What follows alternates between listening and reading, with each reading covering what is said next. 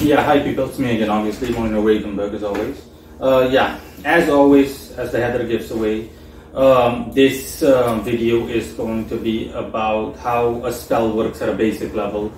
Um, now, all, if not most occultists in the world are familiar, at least most that practice um, anything akin to Western magic, anything along those lines, are familiar with the abbreviated phrases LBRP and the BRH uh, the lesser banishing ritual of the pentagram and the uh, banishing ritual of the hexagram.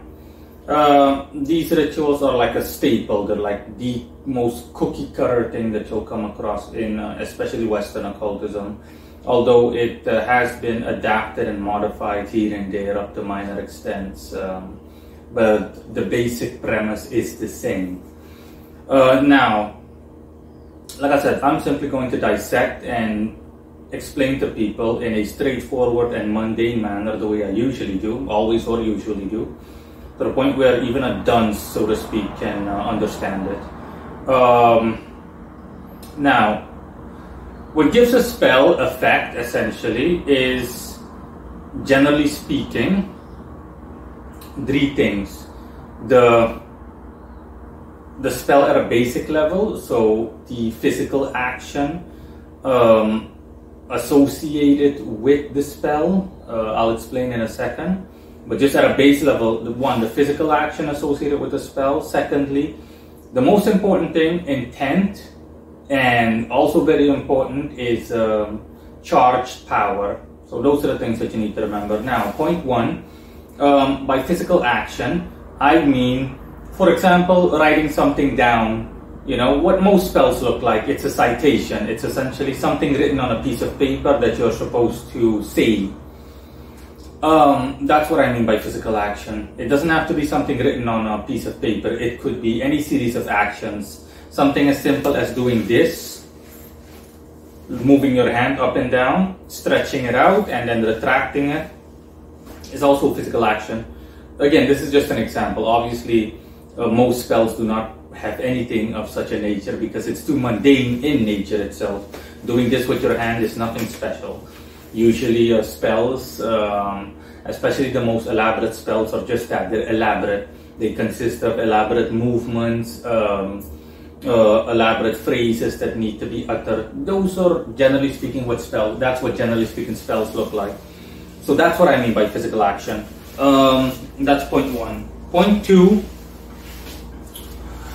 um, the intent. This is the most important thing. I have an article that you can find linked in the description, uh, as well as any other things that might be of interest or things relating to this subject uh, as a whole, linked in the description, the way I usually do, always or usual. Um, intent. I have an article called "It's All About Intent," and the header speaks for itself. I'm not going to elaborate on that article. The header is already enough in terms of what it gives away and what it's all about. Um, the article, um, again, the header speaks for itself. It's all about intent. It's all about intent. I repeat, it's all about intent. Your intentions are the most important thing. When you uh, anything that intent is a fundamental component of a spell, and it is the you can I, you can say arguably, but arguably only up to a minor extent you can it's safe to say that it is the most important component of a spell. Um, your level of concentration and your focused intent is what um, by intent obviously I mean you being fixated on what you want um, and the desire that comes along with it uh, is uh, of, of, of paramount importance. It's simply its importance can't be understated.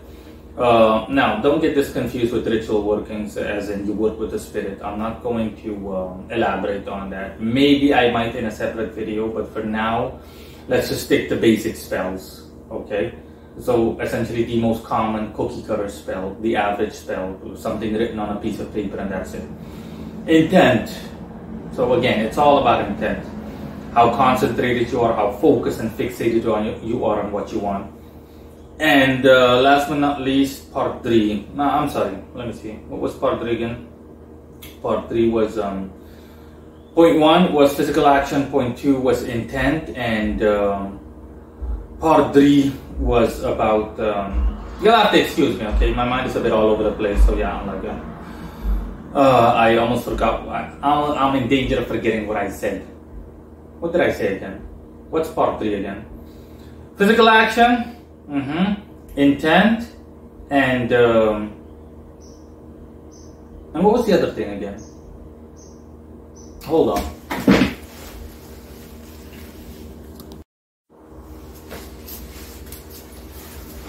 Yeah, I briefly had to check to see what the third thing was. Charged power. Yeah, charged power. I repeat, charged power. Again, apologies for that. Look at that, man.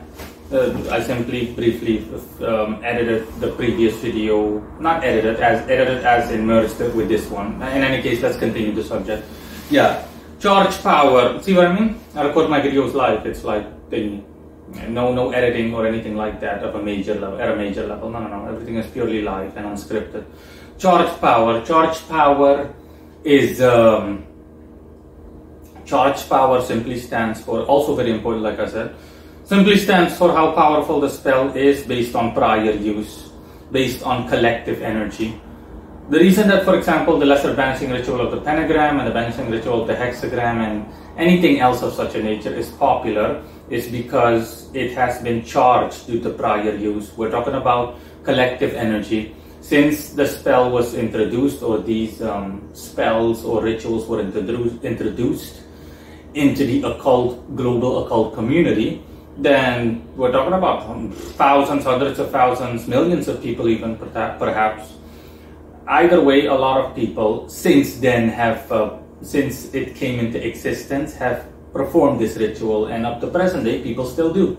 A good deal of people around the world still perform these rituals, so you can imagine. All of that is collective energy. You're essentially, that spell is empowered in itself. That ritual is empowered in itself based on collective energy. We're talking about a ritual that hundreds of thousands or millions of people even since that ritual has existed have practiced and they carry it out regularly. So whenever you do this ritual or perform this ritual, this ritual almost has like little bits of energy worth a million people uh, attached to it. Not literally, but my point is based on the energetic influx and outflux, um, again, in its turn, based on collective energy, all of this has just been, I mean, all of this has just been, um, whenever you carry out this ritual, you you essentially have the backing of, of, again, thousands, hundreds of thousands of people, and that's what makes it so effective. That's how any spell works at a base level if I were to, for example, write out, just create a spell out of nowhere, not a ritual, a spell, you can call it a ritual, spell, ritual, whatever. In any case, I carry out a spell or a ritual. I write down, for example, I wish to become wealthy. I call upon all the forces in the universe, both good and bad, uh, big and small, or great and small, um, to aid me in my desire for wealth. I wish to be a millionaire. It's just an example, mind you, it's just an example. I wish to be a millionaire um, please make me a millionaire. Um, uh, let's see, what else can I say? In exchange, I will, for example, leave out one meal a day on my dinner table at 2 p.m. in the afternoon, my time, or whatever time I am capable of making that happen. I will place this piece of paper on which all of this is written. I will place a copy of it on um, uh, underneath the, the, the dish in, in question. Yeah, that's essentially how a spell works. Now, what makes this spell successful? This is not a, a known spell. I'm the only one that knows it because I wrote it. Simple example. What will make the spell effective? Because the spell doesn't have charge power to it, I will have to charge it through repeated use, and that can only happen over time. I have to keep doing this spell for like a year. Just goes on. Not even a year, but in the long term, at the very least a year. Okay, or at the very least until I have accomplished my objective and I'm a millionaire. See what I mean? That is charged power.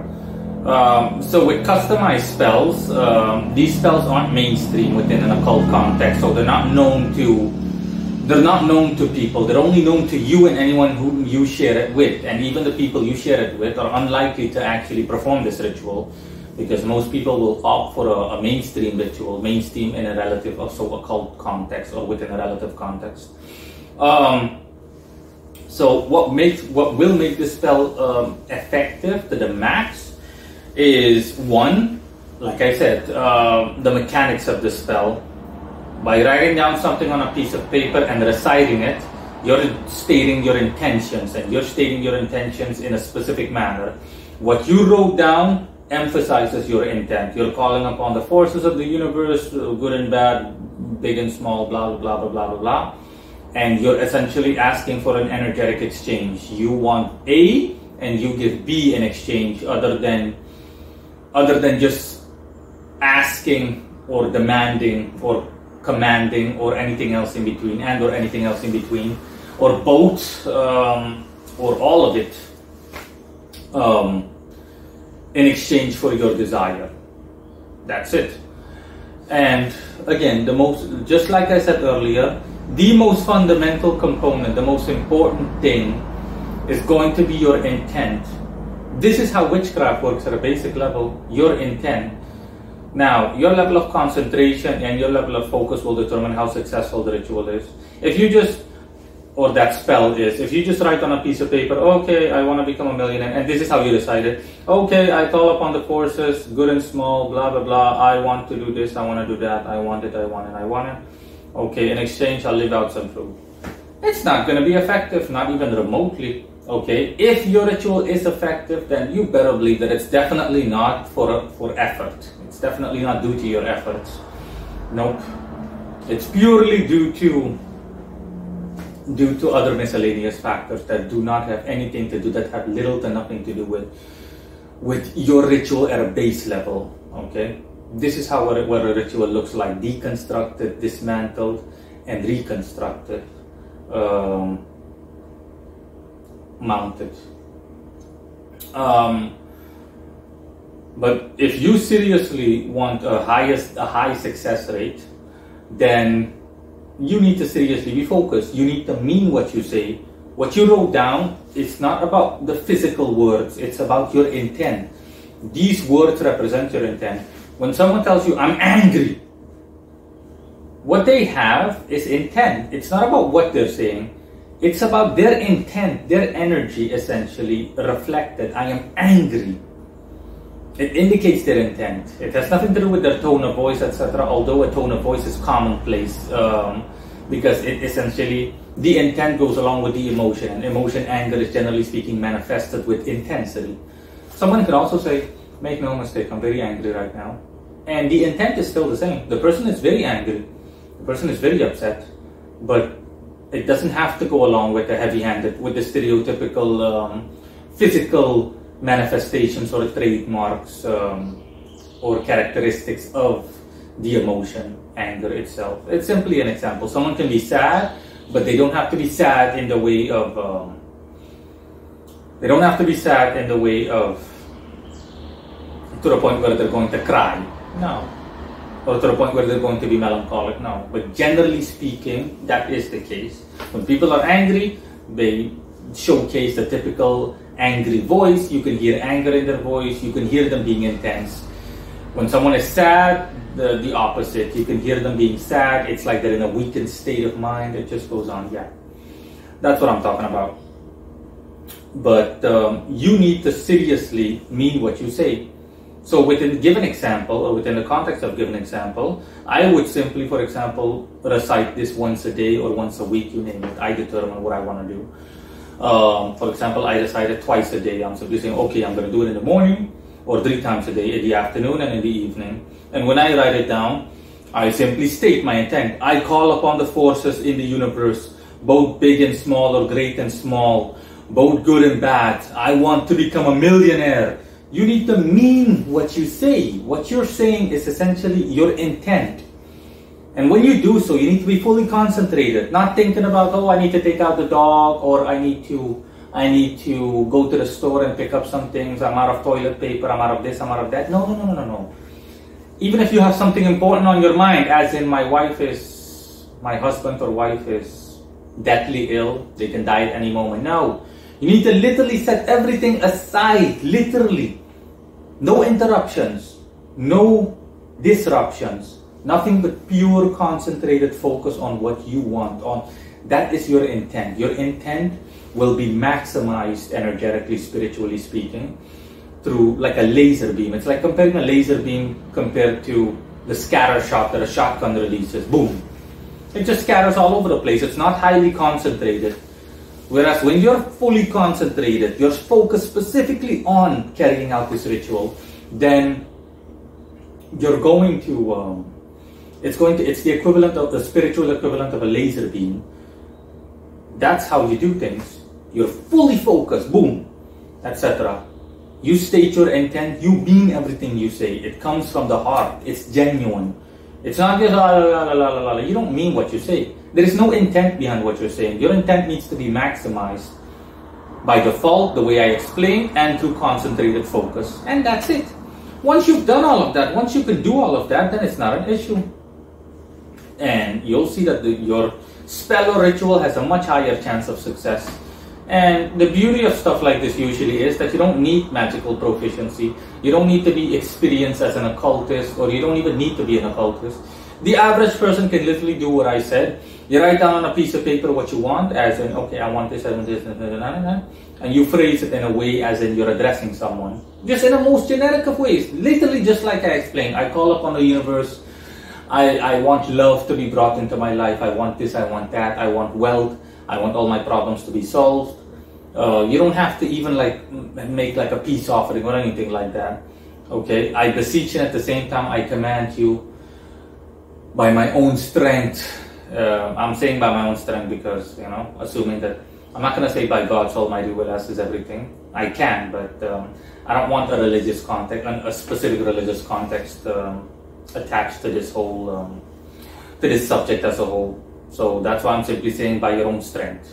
Okay? You're simply asking on your own behalf. I want this. Please bring it to me. And yeah, that's essentially it. And any person could do this and results, you'll get results definitely. Uh, generally speaking, if you don't get results, then it's due to miscellaneous factors that um, someone that does not practice, that the average person or a beginner can do little to nothing about. But yeah, at a base level, this is what a spell or this is what a ritual looks like. It's very simplistic, etc. The things that make it work, like I already said, is charged power. But for a customized spell or ritual, something that you wrote down yourself, you don't have that benefit. All the more need to compensate for it through maximizing your intent. The only two things you essentially need, okay, charge power as as much as it helps because it's a tremendous help if you can't, if you don't have it at your disposal, then there's nothing you can do about it. Period. You can't um, have charge power on a spell or ritual that you yourself wrote because no one knows about it other than you. Um, and obviously, the spirits and entities that are always around you and they can see you right and everything. in a matter of speaking, both literally and in a matter of speaking the two things you need are simply again the basic mechanics. You understand the basic mechanics of it as and you write it down on a piece of paper blah blah blah blah blah blah blah. Your intent. You simply through physical action emphasize your intent. And usually when people want something stated they write it down. Correspondence of any kind stationery of any kind is literally a company says that they're going to fire you they send you a letter because you're not they're not able to be physically you're not able to be physically present or they don't want you physically present at their office or anything like that. What do they do? They send you correspondence whether it's digitally or physically. Point in cases they're stating their intent towards you. Then putting their official logo and everything indicates how serious it is as in hey we're hereby telling you. They're stating their intent towards you as in hey we're done with you. We've severed ties goodbye See, they're stating their intent and they do it through physical action. The physical action in question being a letter, being stationary, or a message that they send towards you. Something as simple as a text message also states intent. If someone sends me you a text message, uh, for example, you had an appointment with someone, and someone sends you a text message, "Where the fuck are you?" Then yeah, the intent is clear the person based on what they're saying again the words that they're using and the fact that they're sending you a message is their intent um, their intent emphasized through physical action towards you.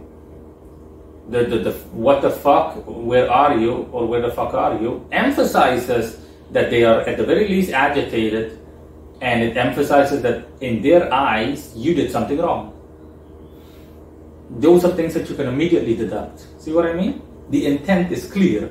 You can come to the conclusion that A, the person is not happy, and B, the person is not happy due to me not living up to um, some part of the agreement. And the part of the agreement in question, the, the proverbial part of the agreement in question is um, you most likely not having showed up on time or um, you coming to a different uh, agreement regarding time periods as in, in relation to your appointment you had a date or an appointment scheduled with the person and the person someone mis- there was a misunderstanding of some sort regarding communication or anything along those lines. Point is bluntly put the person is pissed as hell and you apparently are late for an appointment that they had and that they expected you to be on time for period. See their intent their intent is stated. When you write something down you're like okay this literally has to manifest what you want okay? And you need to understand that you can't just do it out of nowhere that's not how a spell or a ritual works. As a creature in the universe, you're reliant upon all the forces in the universe, more or less. In a matter of speaking, from a human mundane perspective, you're reliant on the forces in the universe. That's why you're calling upon the forces of the universe. You're essentially saying to the world, hey, I'm asking you, and at the same time telling you, all in one hit and everything else in between, I want this. Please get me this. Get me this. I command it in my name. Okay, by my own strength and by my own virtue and everything else that I have to offer. Get me this. I want it. Get me this, please. I want it. That's what you're saying. Um, and like I said, when you do that, see what I mean? Even this is charged power. The fact that you're doing it repeatedly is charged power because the power accumulates over time through repeated use you keep repeating yourself and it's charged power. You're doing it every single day, etc., etc., etc., and you're like, okay, charged power, charged power.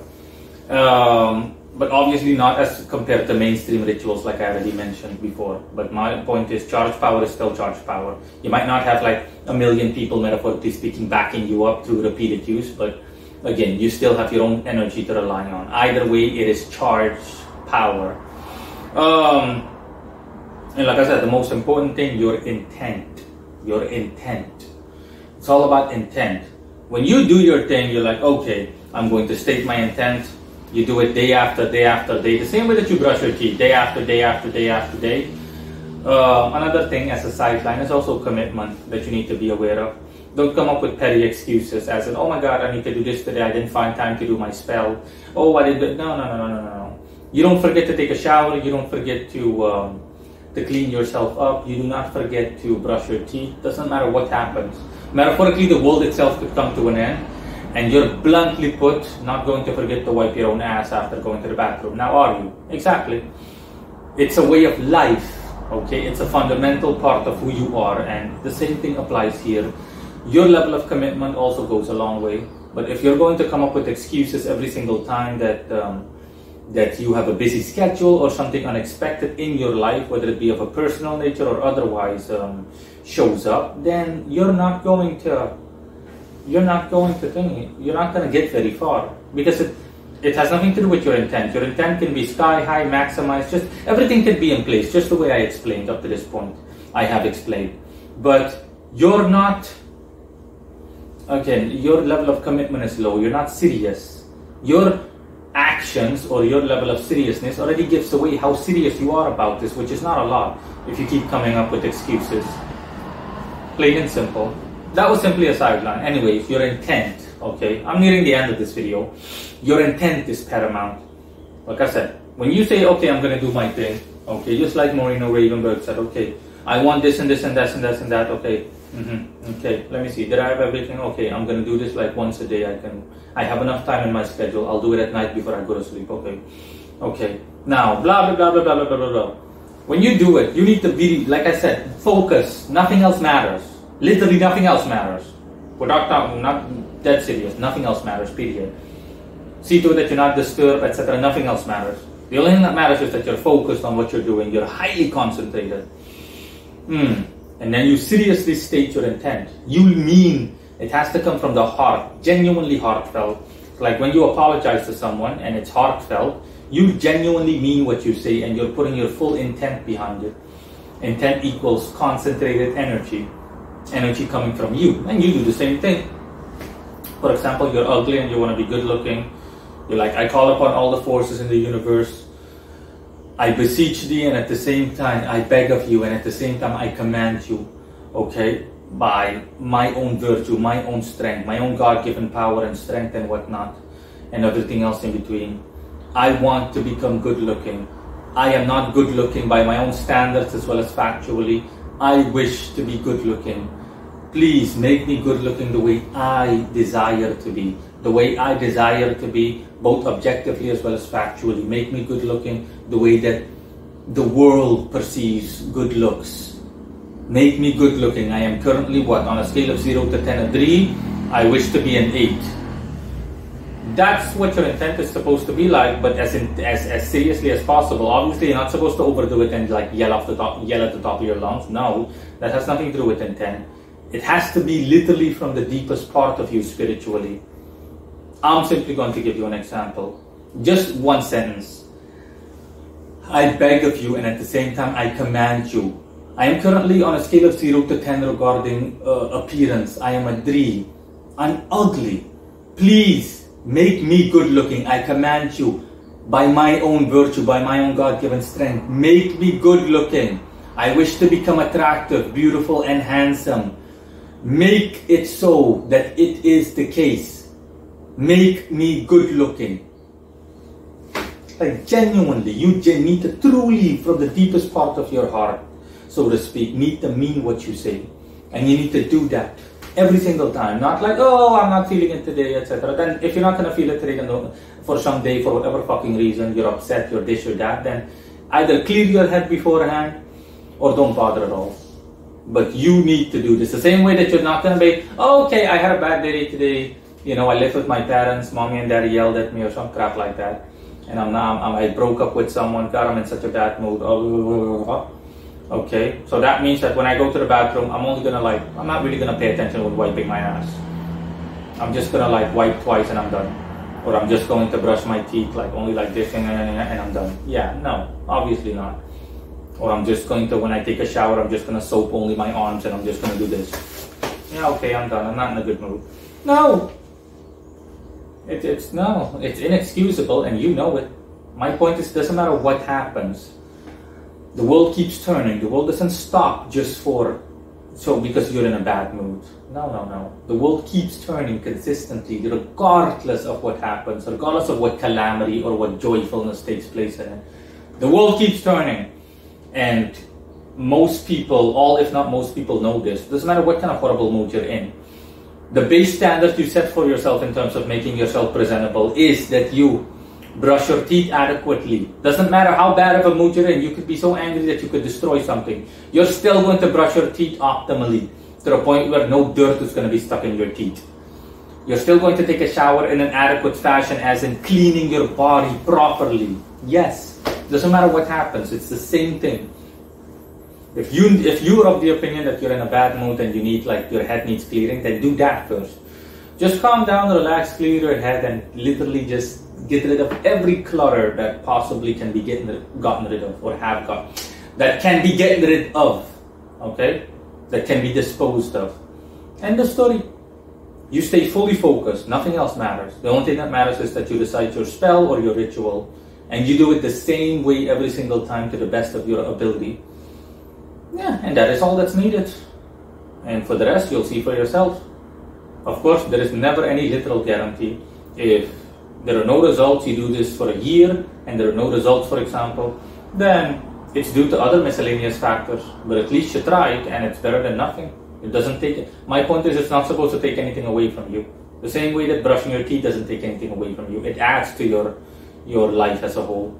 And the same thing with this, even if it's only by principle. Um, and yeah, that's essentially it. Let me see if I have anything else to say. Any last words, so to speak. No, that's essentially just it.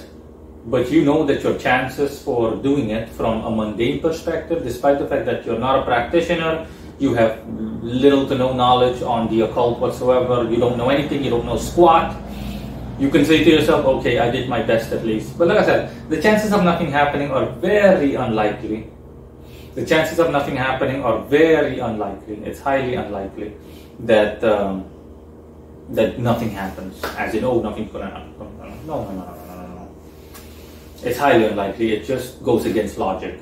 If you will notice something happening somewhere along the way in the way of results, regardless of whether it's what you wanted or or what you didn't want.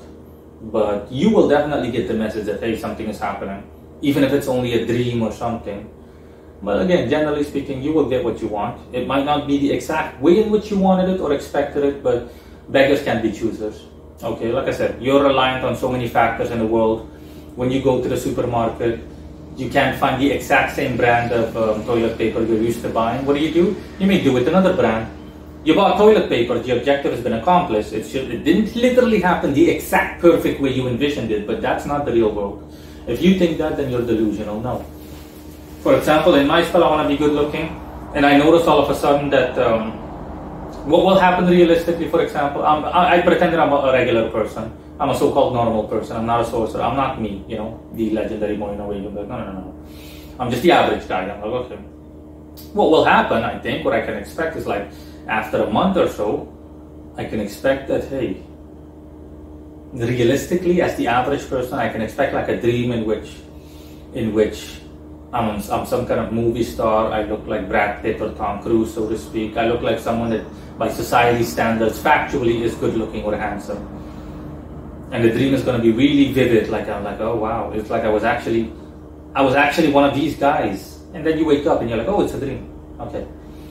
Yeah, no, that's because your own astral body, your spirit is hinting at you that, hey, what you're doing is working.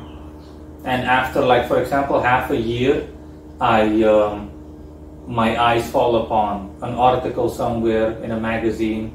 Didn't just want to, just me going about my daily life. I'm at the dentist or something, and all of a sudden I see like, like a thingy.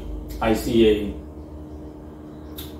I see a, I see contact information for a thingy for uh, a, a, physical therapist, for example, that serves as a guide in terms of making you look better. Let's just say the ad is something along the lines of Do you want to realistically become more attractive?